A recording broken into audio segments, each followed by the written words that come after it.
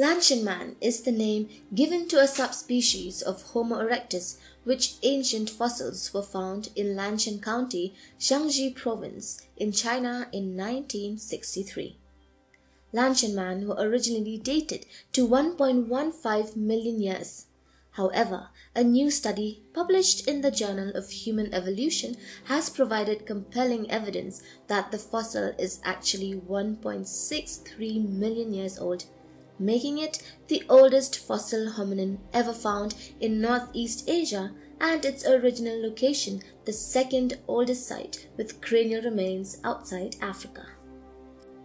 One specimen was found at each site, a cranium at Kung Wangling and a mandible at Chenjiawo. Both appear to be female. Stone implements from a third site in Lantian may be contemporary with the fossils.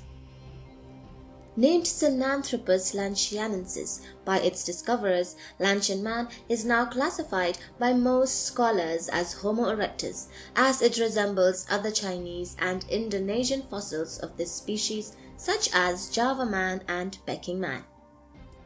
The scientists analyzed six teeth and the upper jaw using modern technology, specifically tomography and 3D imaging. They then compared the fossils to examples from other Homo erectus fossils, specimens from other Homo species, and modern humans. The Kung Wangling fossils were in poor condition due to damage caused in the years since the individual died. But using modern technology helped the scientists find crucial information to help them understand their relationships with other earlier and later members of the genus Homo. The reconstructed skull exhibits characteristics in line with Homo erectus, a low and long cranium, thick bones to protect the brain, and a notably large twin visor above the eyes. The Lantian skull most resembles that of a small-brained Java man, its cranial capacity being only 780 cubic centimeters.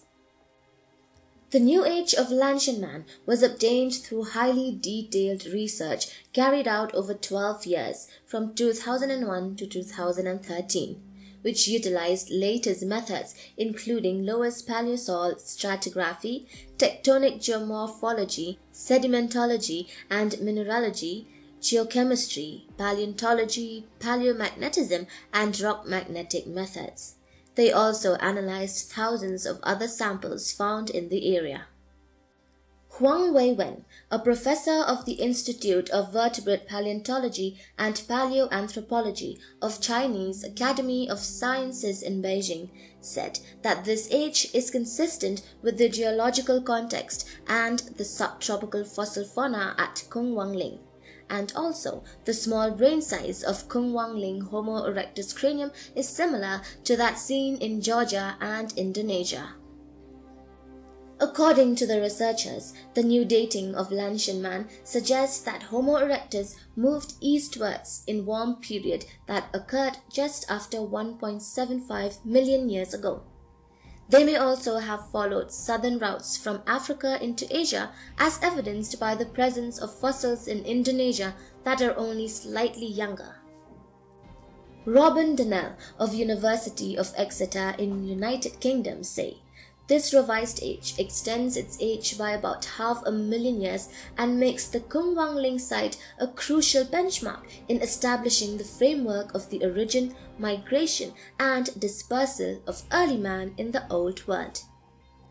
He also said it provides reasonable evidence for re-evaluating the status of other early and controversial human fossils in China and Java.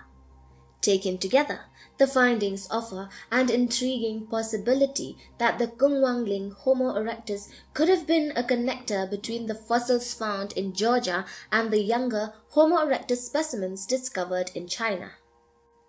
The scientists wrote that the information suggests a temporal trend between the older and younger specimens, but acknowledged that more studies would be needed to confirm that the Homo erectus from Kung Wangling was a descendant of the Georgia fossils and an ancestor to the younger fossils found in China. Jose Maria Bermudez de Castro, a study author and coordinator of the Paleobiology program at Spain's National Research Center on Human Evolution, said. The Kungwangling site helps to plug this enormous lapse of time and suggests that Asia might have been settled by successive populations of the Homo erectus species at different moments of the Pleistocene. Overall, researchers say that this new research rewrites the history of Lantian hominin and provides additional knowledge of human evolution for the public. Well, thanks for watching guys. Do drop in your thoughts in the comment section down below and please do not forget to support us by liking our videos and subscribing to the channel. See you soon.